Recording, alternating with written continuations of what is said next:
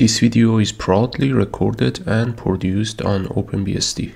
Somebody asked me why don't I use Linux over OpenBSD and I think this is a very interesting question to answer but before jumping to the answer I would like to clarify two things with you. First of all I do in fact use Linux almost every day but my operating system of choice is OpenBSD. The reason that I like to use OpenBSD is stated on why do I like OpenBSD video. I, I link that one on the top right corner in case that you are interested to know about my reasoning. The second thing that I want to clarify is that OpenBSD is a general purpose operating system. In fact, you do not find anything on the OpenBSD official website that stated OpenBSD is suitable only for servers, firewalls, or routers. Of course, OpenBSD shines in those areas, but that doesn't ne negate the fact that OpenBSD can be very well used as the desktop operating system. However, at the same time, I am not denying the challenges that OpenBSD as desktop has, and exactly that brings me to the answer of this question.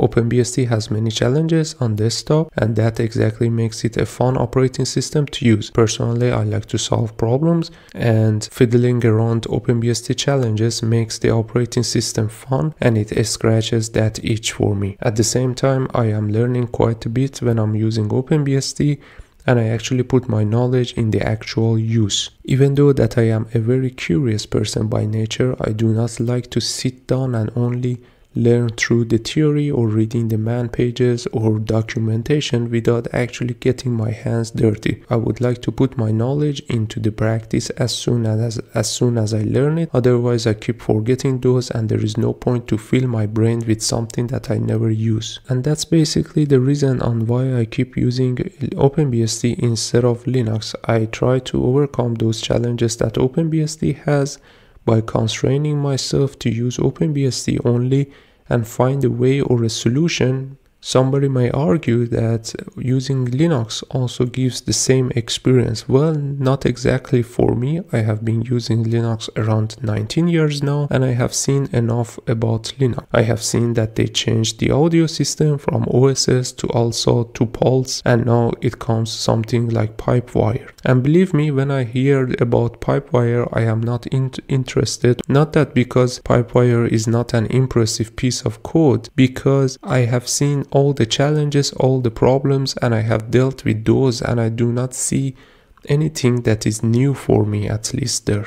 The second thing is that I believe everything is provided uh, nowadays when you are using Linux. You can just simply do sudo apt install or sudo pacman whatever and install the latest and greatest software at, and that is super easy. That makes it for me a bit boring and in my estimation I am going to make this bold statement that for me Linux is the new Windows. However, many people may like actually to keep using Linux and that's entirely fine. They may may find different challenges. For example, I've seen many YouTube creators, they actually enjoy quite a lot by keep changing the window managers or keep changing the terminal emulators, this and that. And that's entirely fine by me. I do not have any objections, but simply those stuff are not for me. And this is not to say that I, I look down on those people. It's just like we have a different interest in different areas. I am a type of person that I like the baseline stability, not in terms of the software stability, but in terms of things that are not keep changing constantly. For example, I have been using i3 window manager as my tiling window manager since 2015 and since then I haven't changed anything and prior to that one I, I, I didn't even use window manager.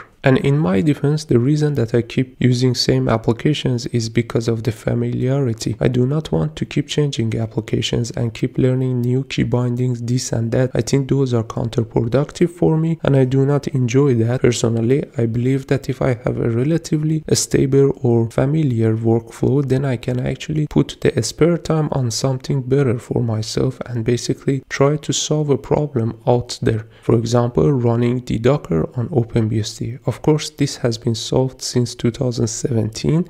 There are many articles written prior to even me creating this video but I believe that going through the process and basically learning about VMM and Docker makes it very interesting and worthwhile and I do believe the experience is much more pleasurable for me rather than let's say customizing my window manager or switching to a new window manager. Above that, I would like to take up the challenges that haven't been solved yet, for example, playing DRM content on OpenBSD. I think that's an interesting challenge to take and, and basically this is a very entertaining part of it, even though that it may end up in, with a failure. Believe me, I, I only create videos about the success cases that I do and I have not uh, so far created a video about the me being a bit frustrated or actually failing at something. For example, around a year ago, I wanted to port MySQL Workbench as well as VS Code to OpenBSD and I failed miserably in those areas. However, I didn't record any videos about those, but nonetheless, the experience was absolutely fantastic for me. I learned quite a bit in the process and to be honest, I had hectic nights, but I actually it was fun and I think